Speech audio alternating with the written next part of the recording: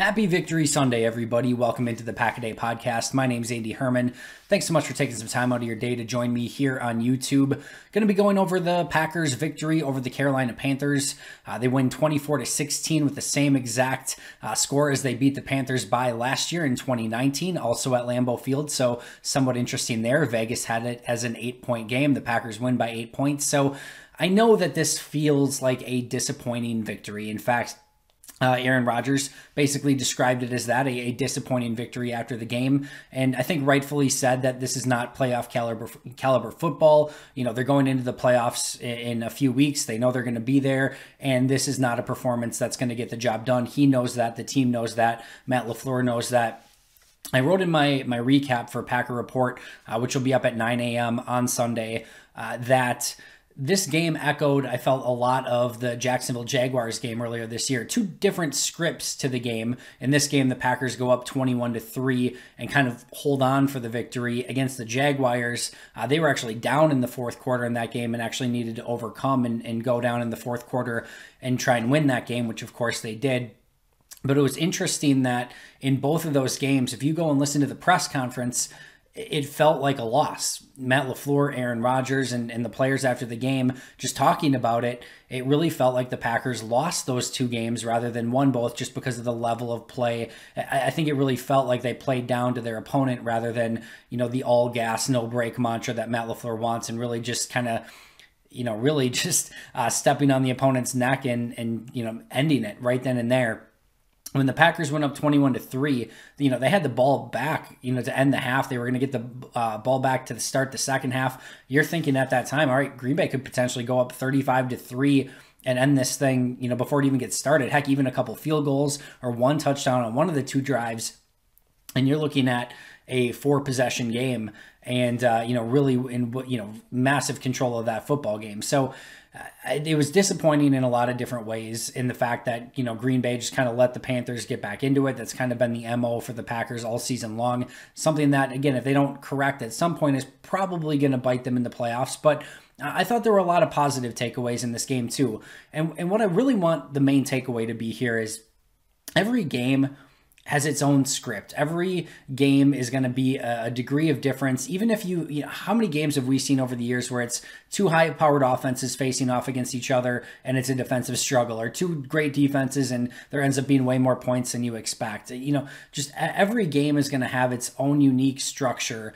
And I think the question all season long has kind of been if the Packers get into games where the offense doesn't put up 30 points, can they still be successful? And in fact, the Packers had three games coming into this game in which they didn't score 30 points, and they were one and two in those games. The only win was against the lowly Jacksonville Jaguars, who have one win on the season. So the question was, could, could Green Bay's defense and special teams win them a game if the Packers offense isn't isn't up and running on all cylinders. Up until this point, the answer was kind of no. It even took a, a, really late fourth quarter drive against the the one in what twelve Jaguars at this point, you know, to to win that game.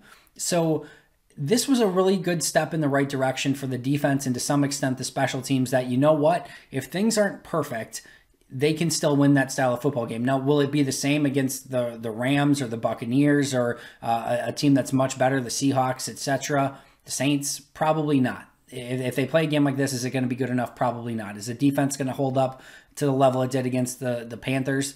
Probably not. But I still thought it was a very good step in, in a solid direction to say, you know what, it doesn't always have to be the offense. And the mark of a really good team is being able to, to win some of those games where you don't have your A plus effort, where you're playing at maybe uh, a C, C minus, and you don't have your best thing going for you if your offense isn't clicking on all cylinders, and you still find ways to win that game. That's a mark of a strong football team, uh, of a sound football team, not a, a fraudulent football team or anything like that. So I, I think there's positives to take away here want to be able to win all different sorts of games, whether it's a high scoring shootout, whether it's a defensive struggle, whether it's somewhere in the middle, whatever it is, you want to be able to show that you can win those games. And I thought Green Bay won a game that didn't go anywhere near their script. They had the opportunity early to put it away. They couldn't. Again, that's been something that's been going on all season long, but I still think that you can take away some positives from this game. And when you look at it long term, when you look at a, a potential playoff and, and potential Super Bowl run, what you're looking at from the team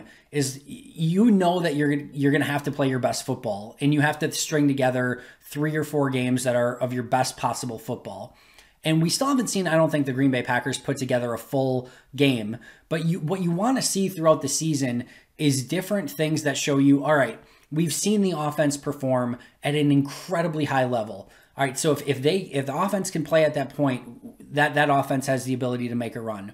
You want to see stretches throughout the, the season where the defense plays at a high level. Now, I'm not sure that this game, you know, really amounts to a high level, but 16 points allowed, you know, what, three sacks, a major forced fumble. Um, I thought they did a pretty good job in this game. And if you kind of go back to end of last year and combine it with this year, we've seen this team be able to get a ton of pressure with Kenny Clark, Preston Smith, Za'Darius Smith. I thought Preston Smith looked better today. I thought the coverage for the most part, sans Kevin King, which I'll get into in just a moment, looked better today.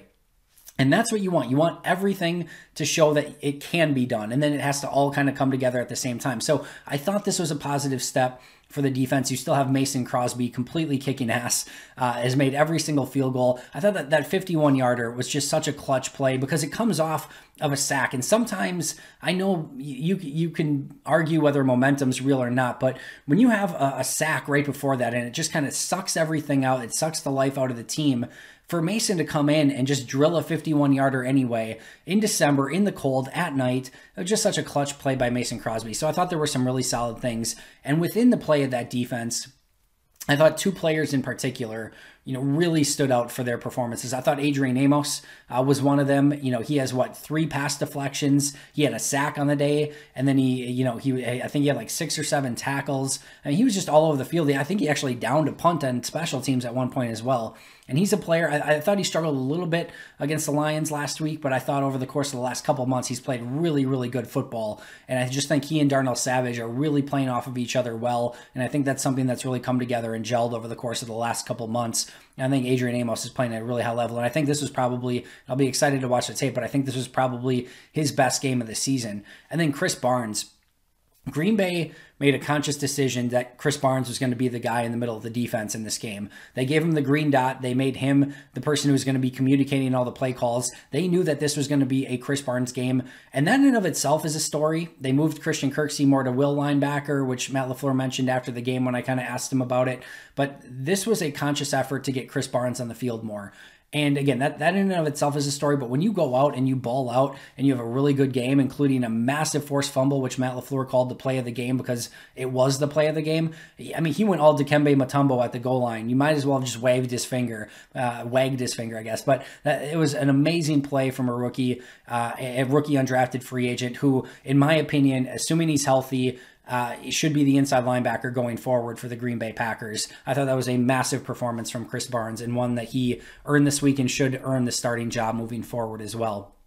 If you want to look at uh, the defining um, you know, feature of this game or statistic of this game that really swung the balance. You know, of course, you can always look at turnovers, right? The, the fact that the Packers got the turnover and then the, the Panthers did not is definitely one, but this was really red zone, right? the, the Packers get three trips to the red zone only, but they make the most of it and get three touchdowns, 21 points in their three red zone trips. The Carolina Panthers get five red zone trips, which, if you think about it, the worst case scenario you, you're thinking there is 15 points, which would be a bad day. And Green Bay allowed 16 points in the red zone on five trips. So, uh, I mean, if, if those are five touchdowns, that's 35 points. Green Bay's not coming back from that. You know, so I, if Green Bay on the same thing, if, if you kick three field goals, they're probably not coming back from that either. So I thought the name of this game was really the red zone offense and the red zone defense. Green Bay being perfect, three touchdowns on three opportunities. The Panthers only getting one touchdown on five opportunities, three field goals, and then, of course, the massive turnover on the one yard line. Again, huge credit to Krys Barnes there. So I thought uh, red zone offense, red zone defense, that, that can always be a huge, uh, you know, swing of the game, and it certainly was that case again. Quick look at injuries. Three injuries for players that did not return. Rashan Gary and Za'Darius Smith also suffered injuries at one point, but both of them returned to the game. But the three that we'll want to monitor as we kind of get closer to the Titans game this week Krys Barnes left with an eye injury, Jamaal Williams left with a quad injury, and Will Redmond left with a concussion. So all three of those players will want to be kind of monitoring uh, as the course of this week goes on. And then, really, the only player that you're still kind of looking at is uh, Jace Sternberger to see if he comes back from his concussion. And then at some point, Corey Linsley uh, could potentially return from IR as well. So, those are probably the injuries worth watching this week as, as the team starts getting ready for the Tennessee Titans. Very, very quickly, I do want to go over that really interesting call by Matt Rhule uh, to kick the field goal on first down. They just completed a 40 yard pass, and it was first and 15 or first and 10 from the 15 yard line.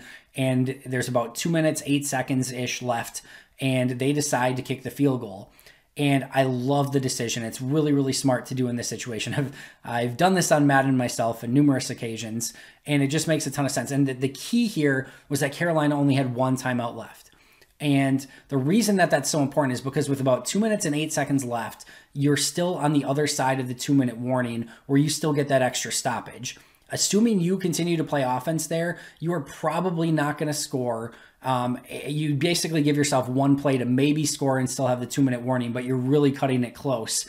In, in, in this case, you probably are, are, are going to end up scoring and be you know past the two minute warning which really takes away that timeout, which is really detrimental because now, even in a best case scenario, you're looking at one timeout kicking to the Packers. And if everything goes right, if they run three times and you call your one timeout, you're probably getting the ball back with under 20 seconds and still needing a field goal in that situation. And that just makes it really tough with no timeouts. And again, that's in a perfect situation. So when you get to under 20 seconds, it just makes everything super, super difficult. So that's not a direction that you want to go in. So the first option would have been go for a touchdown, hope that you get a, a touchdown basically immediately. Because if you don't, now you're with now you have to go onside kick. So they would have basically given themselves a window of maybe one or two plays to score a touchdown and then maybe get the ball back down a field goal with about 19 seconds left with no timeouts. And it just would have been a really, really difficult scenario.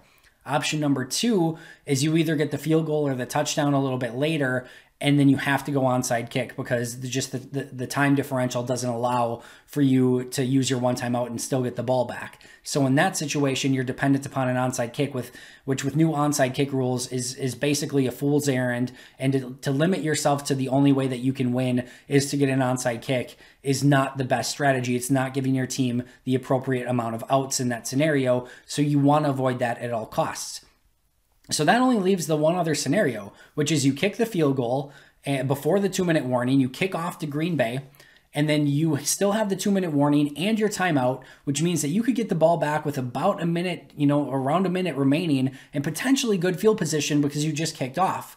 And that's exactly what happened. The only failure here for the Panthers was that huge holding penalty on the punt return, or I guess if you want to look at it, not blocking the punt that was very, very blockable, or at least so it seems. So Carolina ran that to perfection. And the, the job of a coach there is to give yourself the most outs possible. And Matt Rhule did a glorious job of that. None of the uh, none of the options that I just mentioned are great options, but he picked the best option for to give his team the most opportunities for success.